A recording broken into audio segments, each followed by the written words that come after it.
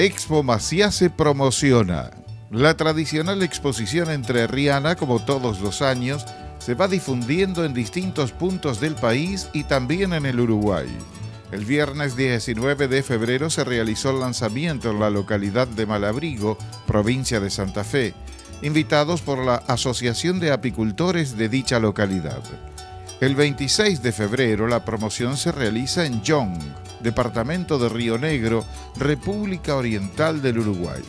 Por último, el jueves 10 de marzo en la Casa de Gobierno de Entre Ríos se efectuará el lanzamiento oficial, vigésimo primera Fiesta Nacional de la Apicultura, Expo Apícola del Mercosur. La muestra se realizará entre los días 18 y 20 de marzo.